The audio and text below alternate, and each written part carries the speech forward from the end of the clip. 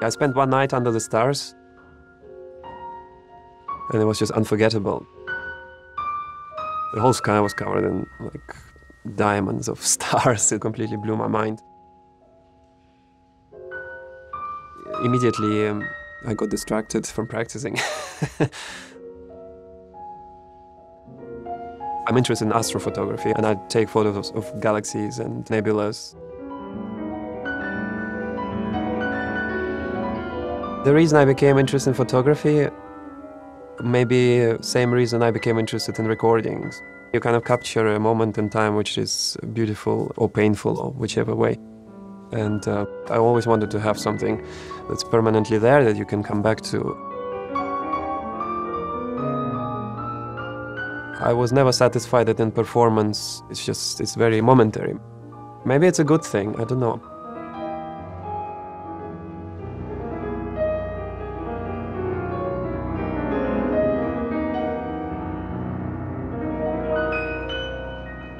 I think um, this is a perfect place for Scriabin's music to be performed.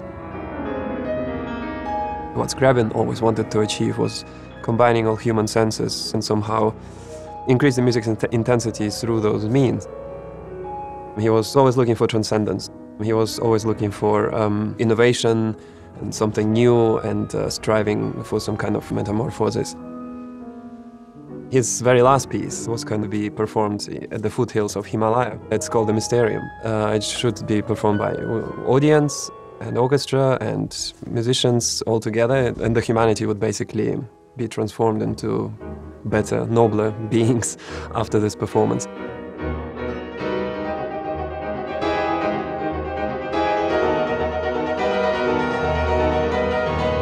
There is no other composer who went through such incredible transformation just from early kind of Chopinesque uh, lightness to this dark, crazy, um, mysterious ideas in his later life.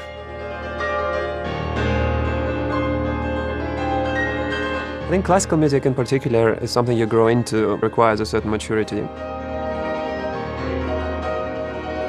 It would be a big loss if the music wasn't part of people's lives, or if art wasn't part of people's lives. That's why music is still around, and that's why art is still around, and I think always will be.